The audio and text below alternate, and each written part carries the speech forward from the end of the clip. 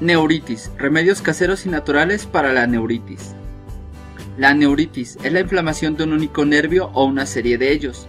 Los síntomas a tener en cuenta son el entumecimiento alrededor del área afectada, sensación de hormigueo, sensación de quemarse, dolor agudo y punzante, y en casos severos la parálisis de los músculos adyacentes.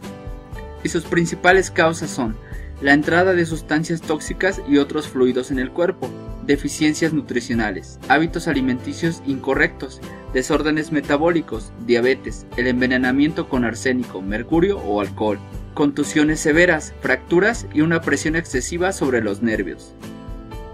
En nuestro canal nos dedicamos a ofrecerte remedios naturales y caseros para mejorar tanto tu salud como tu aspecto, de forma práctica y económica. En el video de hoy te enseñaremos a preparar varios remedios caseros para tratar la neuritis utilizando los ingredientes que tienes en tu cocina. Neuritis, primer tratamiento, leche de soja y miel. Preparación. Toma una taza de leche de soja, añada una cucharadita de miel, mezcle bien y beba todas las noches. La soja es rica en lecitina, vitamina B y ácido glutamínico y tonifica el sistema nervioso. Neuritis, segundo tratamiento, jugo de zanahoria y jugo de espinaca. Preparación. Toma 300 ml de jugo de zanahoria, añade 200 ml de jugo de espinaca, mezcle bien y beba.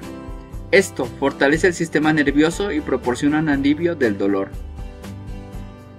Consejos adicionales. El mejor tratamiento es proporcionar una nutrición óptima al cuerpo.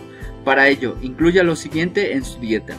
Trigo integral, arroz integral, semillas germinadas, leche, yogur y requesón.